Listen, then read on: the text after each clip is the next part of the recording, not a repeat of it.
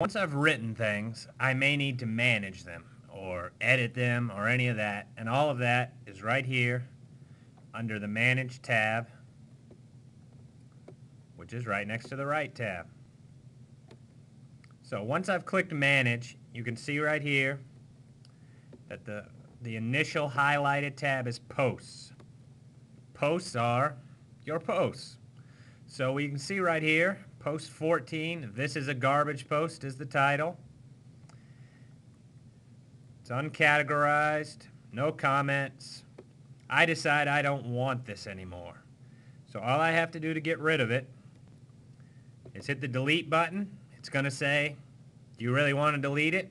I'm going to say, okay, because it's garbage. So there, it's gone. Now if I found I had a spelling mistake or something like that, in the best grammar lesson ever post, I could simply click right here where it says edit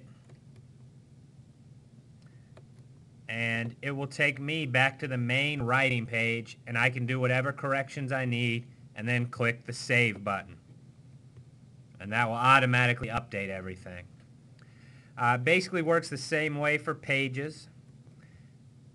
I'll change tabs away from posts to pages.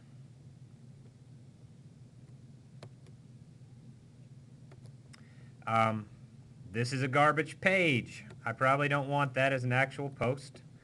So here it is. And just like with posts, I can click the delete button, click OK, and it's gone.